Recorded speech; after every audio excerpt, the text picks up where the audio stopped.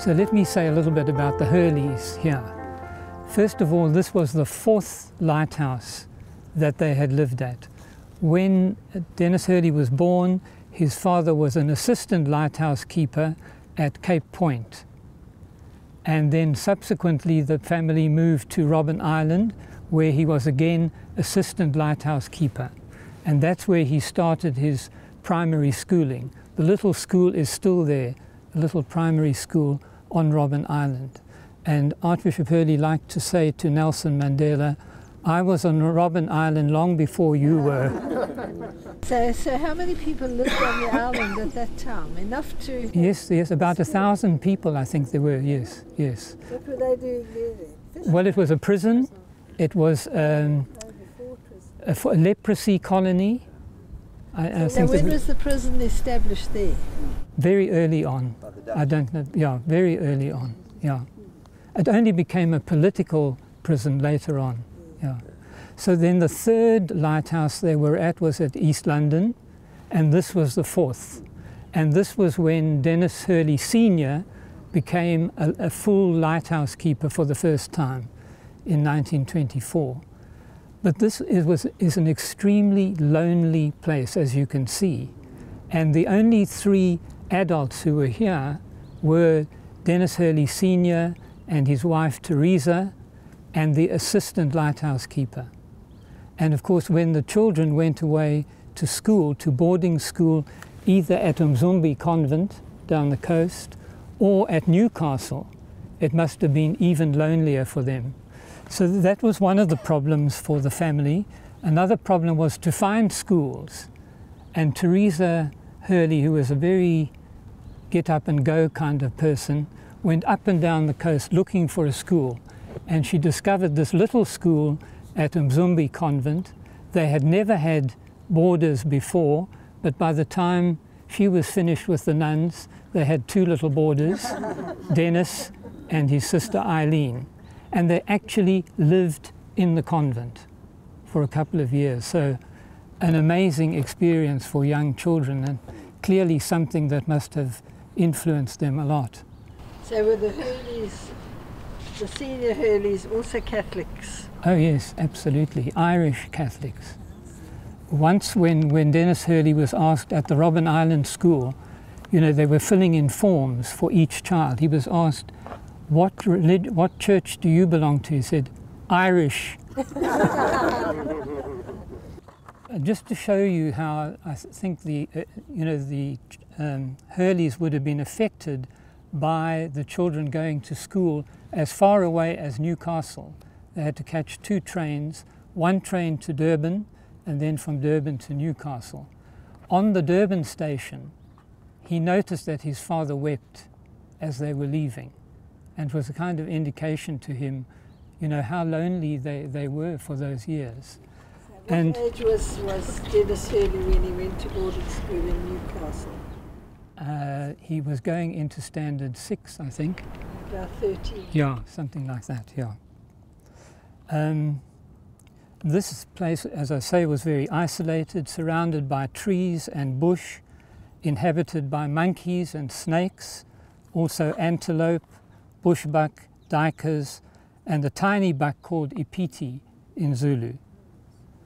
And it was during this time when Denis Hurley was at the Newcastle School for Boys, the Dominican school, that he was lost in a cave for nearly 24 hours with two other boys.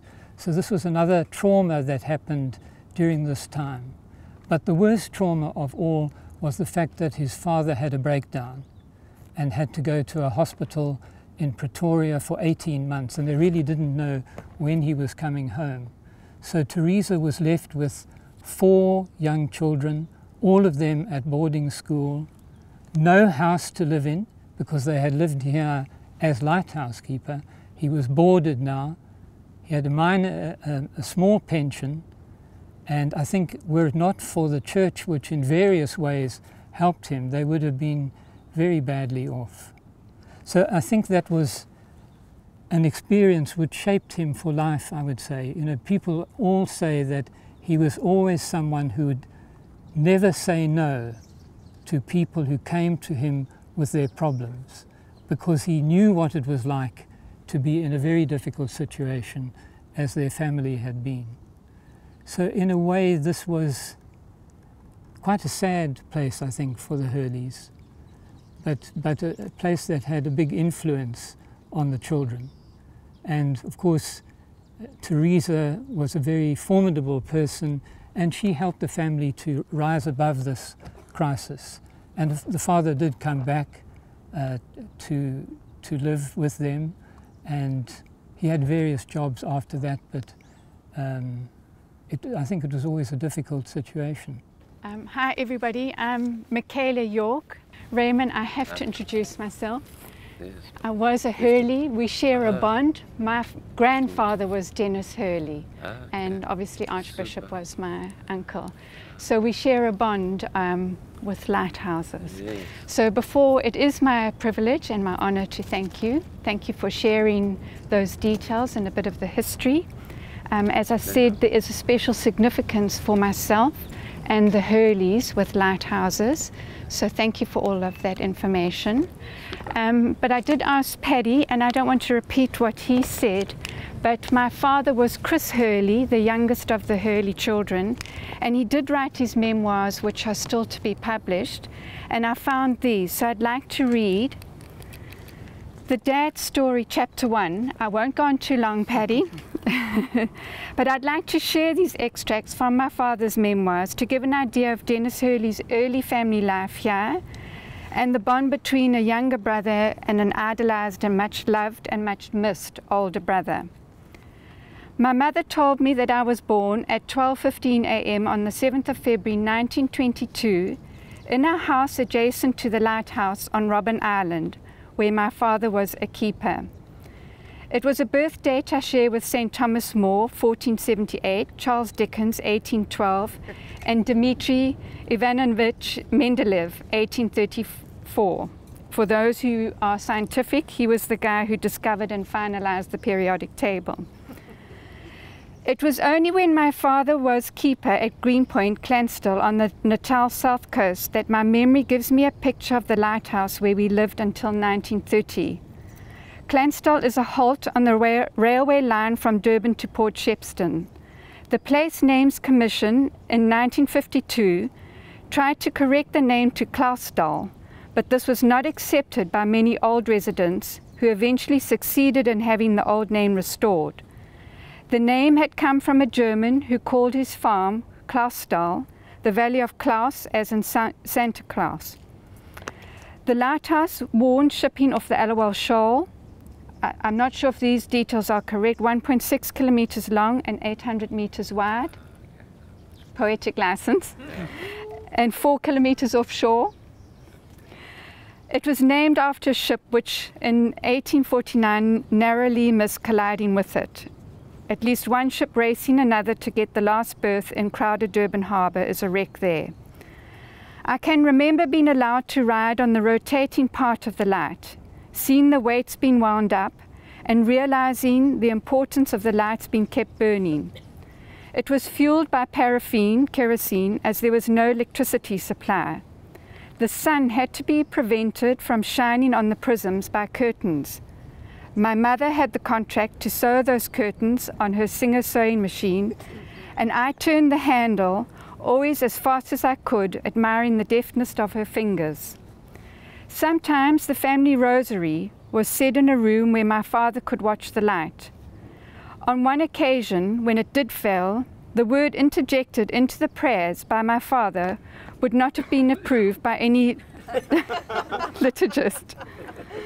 Even the telephone was a source of wonder to me. They were bucked to see at night, they were considered fair game and hunted. Most of all, I developed a healthy respect for snakes, puff adders, night adders, and mambas. There were monkeys in the bush as well. Occasionally, a thieving one would be shot and buried for some reason at the base of a pawpaw tree. Our groceries from Durban were offloaded at the railway halt and brought up to the house on a sled drawn by oxen, the short track through the bush having been cut by my father. When we returned at night from Durban, our way up this track was lit by a hurricane lantern which cast strange shadows on the bush off my father's moving legs. When Jerry and I went to boarding school in 1925, I teamed up with the son of the other keeper, Leslie Gray. Leslie Gray and I became close friends and were inevitably involved in some mischief. Eileen and Denis seemed very grown up. Their names were always linked to going to school, either at St. Almo's or Zumbi Primary or at their respective schools in Newcastle, their secondary schools. Lighthouses that light ships and guide them to safety. And uh, someone told me many years ago, Heavenly Father, that the darkest spot at the lighthouse is at the foot of the lighthouse. The, the, the lighthouse shines all around, and, the, and, and Denis Hurley's light continues to shine throughout South Africa and through the world. And we thank you for his witness and for his life and his dedication. And we thank you through Christ our Lord. Amen. Amen. In the name of the Father, the Son, the Holy Spirit. Amen.